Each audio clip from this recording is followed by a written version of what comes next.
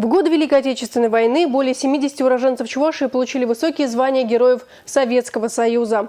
Среди них летчик-истребитель Александр Васильевич Кочетов. 8 марта исполняется 100 лет со дня его рождения.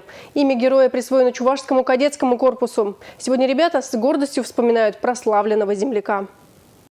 Александр Васильевич Кочетов, он жил в Алатаре.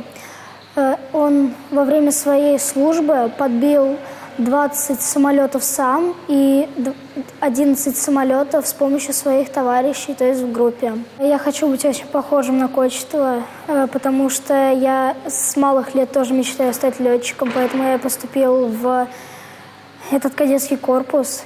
Я знаю о нем то, что летом 1944 года Александру Васильевичу Кочетову дали отпуск. Во время своего отпуска он решил поехать в свой родной город Алатырь. Вдохновленным его подвигом алатырцы собрали деньги на самолет. И, к примеру, последовал э, председатель колхоза. И в итоге ему подарили два самолета. Один самолет оставил себе, а, а другой подарил лучшему другу Спартаку Маковскому. После войны Александр Васильевич Кочетов вернулся в Чебоксары где закончил исторический факультет педагогического университета. После он стал начальником радиотехнической школы и возглавил стрелковый клуб. Мы постоянно вспоминаем его подвиги. У нас даже в уставе написана его история, автобиография. Постоянно даже на ОВС, то есть основа военной службы, мы постоянно говорим о нем, о его подвигах, как необходимо быть таким же ну, смелым, смелым. Потому что, а, согласитесь, то, что не каждый человек сможет стать героем Советского Союза, сбить 34 э, самолета, сделать больше 100 вылетов. Это очень, очень почетно.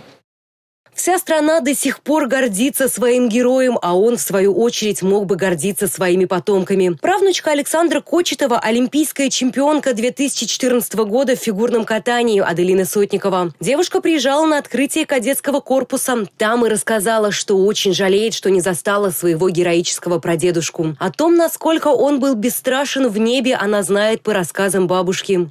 Но мне бабушка рассказывала, что у меня есть нотки его характера, и это действительно очень я очень этому рада, потому что я тоже, как можно сказать, бесстрашная и иду на пролом, и э, у меня есть что-то дедушкина. Юлия Важенина, Андрей Спиридонов, Республика.